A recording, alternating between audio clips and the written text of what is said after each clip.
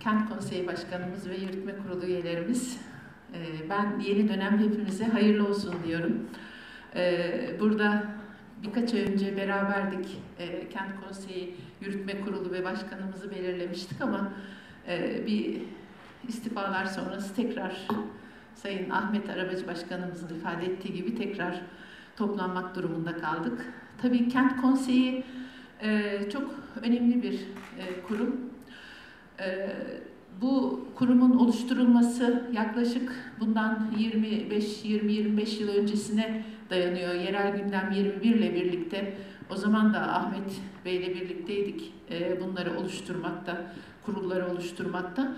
E, demokrasinin olmazsa olmazı yerelden yönetim, yerinde yönetim ve yerelde yönetim, kentlere yön veren, kentlerin geleceğini belirleyen, halkımızın e, sosyal yaşantısının önünü açan en önemli unsur yerelden yönetim, yerel yönetim. E, bunun içinde e, halkımızın, yaşayan hemşehrilerimizin katılımcı bir şekilde yönetime katılmaları ve katkı sunmaları da e, kent konseyi, kent konseyleri eliyle oluyor. E, Kütahya'da biraz e, pasif kaldı bizim kent konseylerimiz. E, ne yazık ki. E, bundan sonrası için e, daha katılımcı bir yönetimin oluşacağını umut ediyoruz.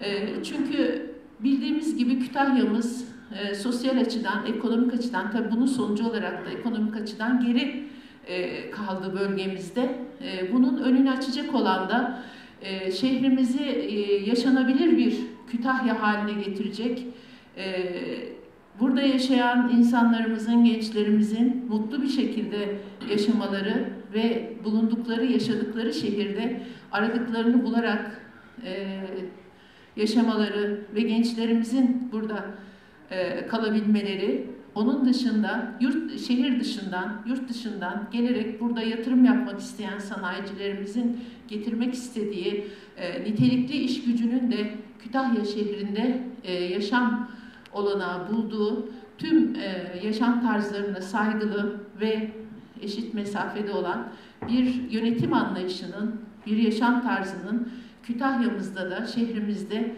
e, yerleşeceğine olan inancımızla ben bugüne kadar emek veren e, arkadaşlarımıza teşekkür ediyorum.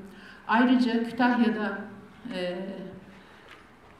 bugüne kadar şehrimize hizmet eden, görev almış olan ve e, sorumluluk alan tüm geçmişlerimize e, saygıyla anıyorum.